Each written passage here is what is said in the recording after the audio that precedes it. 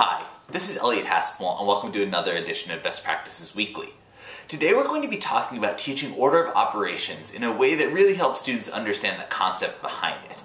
And this comes from an article in Teaching Children Mathematics. And what the author talks about is that often we teach order of operations very simply through the PEMDAS method. That acronym stands for parentheses, exponents, multiplication, division, addition, and subtraction.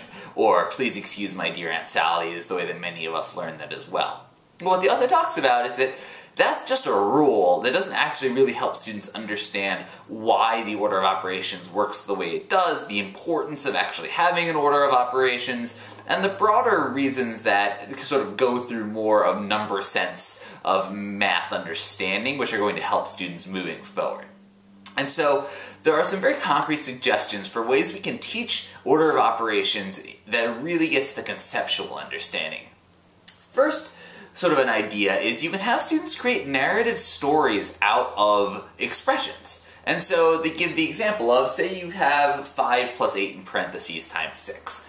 You ask a student to say, think about what kind of a story, a real life story could we come up with about that? And they might come up with, well, you know, uh, my teacher was having a class party and five students from my class and eight students from the class next door were coming and each student got six cookies. So how many cookies did they have?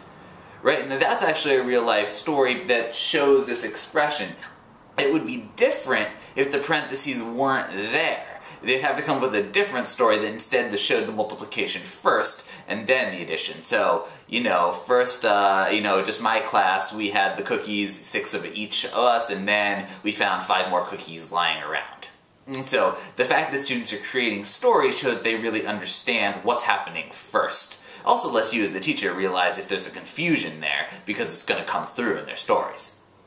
Next, use functions and patterns to actually have students kind of derive the order of operations. And what this means is that if you, uh, you just sort of do one of your normal patterns or function tables, you might help students see that if the function is, say, 2 times n minus 3, if you don't actually follow the order of operations, you're not going to get the right outputs, or if you give them the outputs, you're not going to be able to get the right inputs. And so it's another way of tying in something else they do in math and something else they understand. This idea that one number relates to another, but it's showing them the order of operations is key.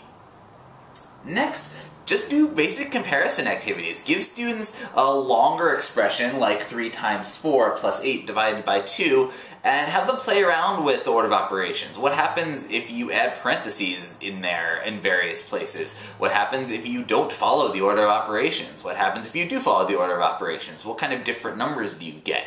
This is really driving home the point to students that the order of operations is not this kind of random rule that doesn't matter. It actually is incredibly important and it's all about how you kind of manipulate numbers. And lastly, if you do want to use PEMDAS, just be sure that you're doing it more of a vertical showing, and what they mean by this is that if you just write horizontally, P-E-M-D-A-S, it gives the impression that multiplication comes before division and that addition comes before subtraction. This is a common misunderstanding students can have, um, whereas in fact, of course, it's just those operations are, are joint and it's whichever one shows up first. So show PEMDAS this way, vertically, parentheses, exponents, and then multiplication and division together and addition and subtraction together, that'll help students avoid that common misunderstanding that uh, the letter that comes first left to right is the actually an operation that comes first, because that's not the case for the last two.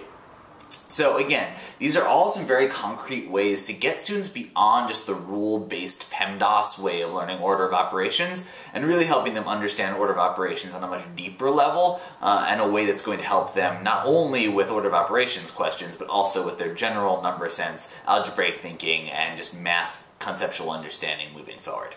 Thanks for watching and happy teaching.